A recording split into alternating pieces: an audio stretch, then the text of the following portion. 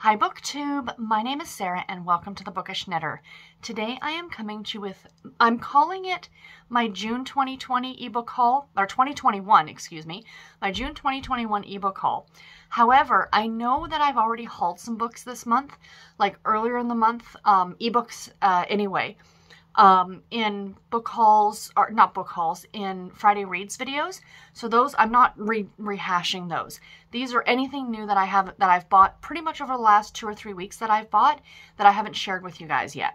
So there are no NetGalley books on here. These are all books that I have purchased.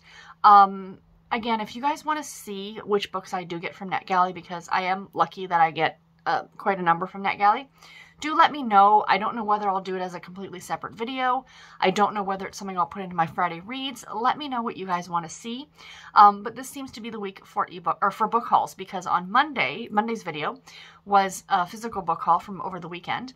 And then today, this video is going to go up on Wednesday. This is the ebook portion of it. So I did separate them. Now, the way I'm going to talk about these books is when I used to do ebook hauls, I would separate them. You know, did I buy it from Kindle? Like, did I get it as a Kindle daily deal or did I get it, you know, as a Kobo deal or wherever I had, or was it a monthly deal from Kindle or whatever? Because if you guys have been watching me for a while, you know, I generally don't pay full price for ebooks or just books in general. Usually I'm getting something on sale. So I didn't do that this time. What I did instead is I broke it down by um, genre. So we can jump around, like I'll be going genre to genre and sharing that with you guys. Let me know if you like the way this goes. If so, um, I don't think this video is going to be terribly long because I thought I had more ebooks here than I actually do. It's only 20, so that's for me, that's not too bad, you guys.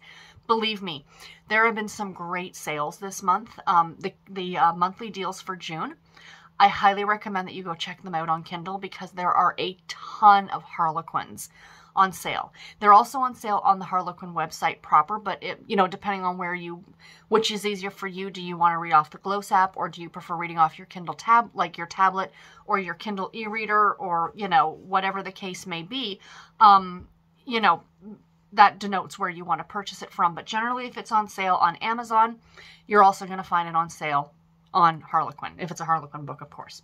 So yeah, like I said, I've got 20 books here to share with you guys. I'm super excited. So let's jump in and get started. We'll start off with, of course, my favorite contemporary romance. So the first book that I got was Act Your Age, Eve Brown by Talia Hibbert. This is the third book in the Brown Sisters trilogy. I believe it's only the three books. Now, I have read Get a Life, Chloe Brown, which is the first one. The second book I have not read yet. I started it, but I never got through the whole thing. I think other things came up that month. I was enjoying it. I just didn't get get it finished. I think I only got like less than a quarter of the way through it. But spoiler alert for my July TBR is I do plan on reading book two. So I do have those first two books on in print book. But this went on sale for $1.99. it was a daily deal. And I'm like, okay, I'll grab a copy for the Kindle, and then eventually, maybe if I'm at a thrift store or something like that and I see a copy of it in physical edition, I'll pick it up so I can complete the series. I loved the first book, so I know, and I was really enjoying book two. So I've only heard good things about this series, so I'm very excited. Um, the next book I picked up was Maybe One Day by Debbie Johnson. This looks like a chick lit. It, based on the cover, I, I don't know for sure if this uh, writer is actually from the UK. I'm kind of, I, I know there's a lot of discussion within BookTube and Bookstagram and just in general about what the difference is between chick lit, women's fiction. Chick lit to me is kind of the UK authors that I love, the Tilly Tennants, um, you know, Milly Johnson, I suppose. Again, I don't know if she is one of these types of authors, but, uh, and again, I'm not absolutely certain what this is going to be about, but um, I'm excited about it. Again, it was a book that went on sale. The next one is an author I have not read before, but I know my friend Chloe over at Always Booked. She likes this author. She read through an entire series by this author, and towards the end of the series, she wasn't, you know, as invested in the series as she was at the beginning, which was the I Heart series. But I think that kind of goes for a lot of series that, you know, they really start off strong and then they kind of just fizzle out. But the one I got from her is a standalone, and it's called In Case You Missed It by Lindsey Kelk. So I'm really excited about this one. Super, super cute cover. Again, I picked it up on sale. Why not? Another book that I believe is going to be on my July TBR, I cannot remember 100% what's on there at this point, But this is an author that I am I have not read, but she writes a lot of stuff and I see a lot of her books going around all the time. Very summary, and this is The Hidden Beach by Karen Swan. I believe this is more of a women's fiction slash contemporary romance. I'm not absolutely certain. I put it under contemporary romance just because I believe that there's a romance in this book. So yeah, I am looking forward to this one. The next one, this was this is always exciting. When I see the Hallmark books go on sale, I pick them up because they can be very expensive for an ebook. It's not out of the realm not out of the realm of possibility to see their ebooks go for 12 or 13 dollars for an ebook which just disgusts me. I'm sorry. It really does. But this one came up and it was on sale for $1.99 and it's beach wedding weekend and it's by rachel uh, Magee. looks really really cute. Again really summery cover. I'm here for it. It looks awesome then I picked up two books by Bella Andre, and both of them were free. So when I grabbed them, they were both for free. So you know, your mileage may vary. Go and check them out, see if they're still available, um, for free anyway. And the first one is Since I Fell for You by Bella Andre, and this is the second book in her New York Sullivan series. So she's written a bunch of these Sullivan series. They take place in different locations. They're essentially like this Sullivan family or something like that. Sorry for the noise. My niece and nephew are here. And they cannot be corralled. About five minutes ago, we had high pitched screaming, which was fun. It's fine. They're kids being kids. What can you do, right? Um, and then the next one I got is It Must Be Your Love by Bella Andre, of course. And this is book three in her Seattle Sullivans series. So, like I was saying, Sullivans, they're about these different branches of the family. They're really fun books. Um, if you like the work of Melissa Foster, then you will really like Bella Andre. They, they seem very similar to me in types of books, like when they do these whole big family type stories that branch from one family to another. Very interconnected. They're a lot of fun. I like them a lot. And then the last contemporary romance that I have here is actually one that I paid full price for. And it's because um, I read the first book earlier this month and I really enjoyed it.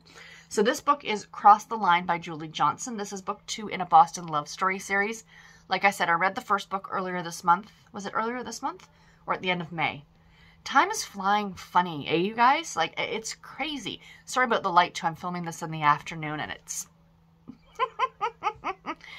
the sun doesn't know what it wants to do, whether it wants to go behind the clouds or not. But yeah, I read the first book. I really enjoyed it, and I thought, go ahead. I had the money. I treated myself. Pick up book number two, and then I've got it, so there's no excuse to not pick it up to read it. So the next group of books I have to share with you, cheers, you guys. Drinking my water. Again, sorry about the uh, screaming downstairs. We have Cozy Mysteries. We're just going to film because I have a minute to film now, and I'm going to take it. Cozy Mysteries. You guys know I love Cozy Mysteries, and I got a bunch of really cute ones um, on sale, so I'm really happy. The first one, I believe this one was free, and it's called The Killer Cupcake by Fiona Grace. This is the first book in the Beachfront Bakery series. I bought this one, I think, like I said, I think it was free. And my mother spied it because we share a can we share an Amazon account, and she's gotten into listening to books now text to speech on her Kindle Fire that we bought her. So she's like, "Can I read this one?" I'm like, "Yeah, sure, go ahead." And she really liked it. So two thumbs up from my mom on this book. the next one, again, this one was free, and it just looked super, super cute. And this is Spells and Spiced Latte by Jinty James. First book in the Maddie Goodwell series. This looks like a cozy mystery, paranormal cozy mystery. Looks really cute. Very cartoonish cover. I said, why not? It was free. Um, next one is a series that I think I have read or I have seen. I own some of the books in this series. And this is Better Off Read by Nora Page. This is the first book in the Bookmobile Mystery Series. Um, again, it's a cozy mystery series, but I think it's about an older woman like a senior, and she um, drives the local bookmobile, which is super cute and fun. And there's a cat involved, and if there's a cat involved, I'm down for it. Uh, next book, these titles are just delightful. We have Crust No One by Winnie Archer, book number two in a bread shop mystery series. The X Files fan in me, Trust No One, loves this title. loves this title. And it's, like I said, it's a bread shop bakery mystery series. Yes, please. I am totally interested. Uh, next one we have is Murder She Knit by Peggy Ehrhart.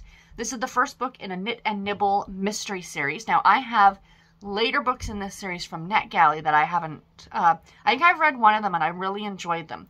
But it's a knitting related mystery. Um, and the first one went on sale, so why not? I picked it up. Next, we have A Deadly Edition by Victoria Gilbert. This is book five in the Blue Ridge Library Mystery Series. Looks super, super cute. It's to do with books. It's a mystery. Come on, you guys. Like, you know why I'm buying these things. I don't have to explain it to any of you. we all get each other. That's the great thing around here, isn't it? And the last one for Cozy Mysteries is Pride, Prejudice, and Poison. This is by Elizabeth Blake, and this is the first book in a Jane Austen Society mystery. So all my Jane Austen fans out there, you might want to check this one out. I think there's now three books in this series. So yeah, if you're an Austen fan, I'm assuming you might want to check this one out. I have read Emma and Pride and Prejudice, and I didn't dislike them. They were good. I wouldn't say they're books that I would reread a bunch of times. I'm not a big Austen fan, like, in terms of that. But I would like to give them both a reread because I do have Sonali Dev's series, the Raj, the Raj, Rajas, I think it is. The first one is Pride, Prejudice, and Other Flavors.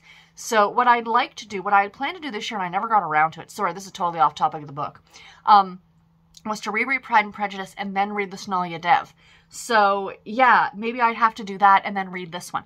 Wouldn't that be fun? Like over the course of like two months to read an Austen work and then to read like a romance and then like a cozy mystery based on it. that would be fun. Who's in, who wants to do this with me? Any takers? Anybody? Anybody? Bueller? Did I just age myself? Probably. Um, next up, we have inspirational romantic suspense. Very niche genre, uh, but it's a romantic suspense that is faith-based. And I have two. These are both uh, love-inspired books from Harlequin. We have Primary Suspect by Laura Scott. This is the fifth book in the Callahan Confidential series. These are very basic covers. Like this, I think if I'm remembering correctly, this is the one with the bench that's just like in front of water it's just very intriguing. The color scheme, that bench, like you want to know what's happening there. And then the other one is Compromised Identity by Jodie Bailey. This is the one I think it looks like a trestle bridge. Is it a trestle bridge? Like um, a railroad bridge. And it looks really, really interesting. My nephew is singing for everyone.